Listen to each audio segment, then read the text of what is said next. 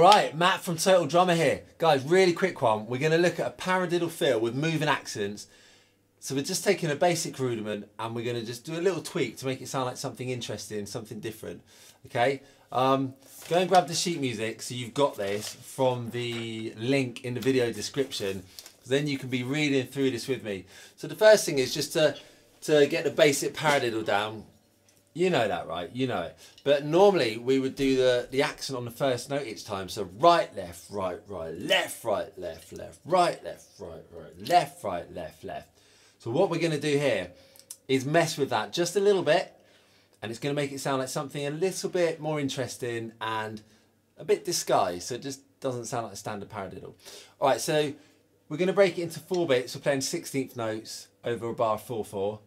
Okay, so there's four chunks of this, which comes out as two paradiddles. So right, left, right, right, left, right, left, left, right, left, right, right, left, right, left, left. Let's look at the four individual bits. First one, the accent is where we expect it. So it's on the first right hand. So it's like this. The second one, which is the left, right, left, left, we want to accent the first left hand naturally, okay? But we're not going to do that. We're going to do that quiet and then we're going to accent the second note, which is the right hand. So the challenge there is not accenting the left hand. That's the big challenge. So it goes left, right, left, left. Let's put those two together. So it's right, left, right, right, left, right, left, left.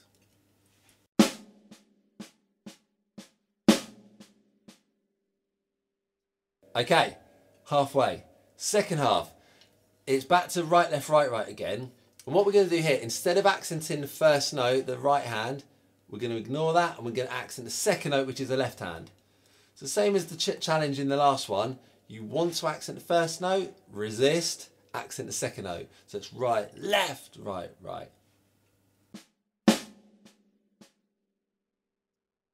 And then finally, the last section is where you want it. It's the first note. So this is left, right, left, left. You're going to accent the first left hand. All right, so let's just do those last two together. So it's right, left, right, right, left, right, left, left.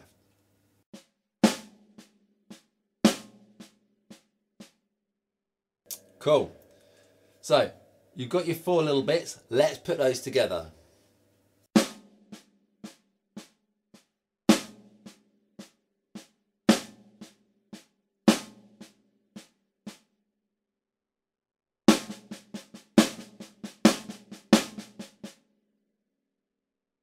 That's it, right? So it's not hard, but it's just creating a slightly interesting accent pattern. So a little bit more interesting. All right, so once you're comfortable with that, all we have to do is orchestrate that around the toms. And we start to come up with quite an interesting kind of melodic sound. So you can do it however you want. And that's the beauty of this. Learn a pattern on a pad or on a snare drum and then, and then put it around the kit in different ways and come up with different stuff. It's nice and fun, nice and easy, and just a way to get even more mileage out of the humble old paradiddle.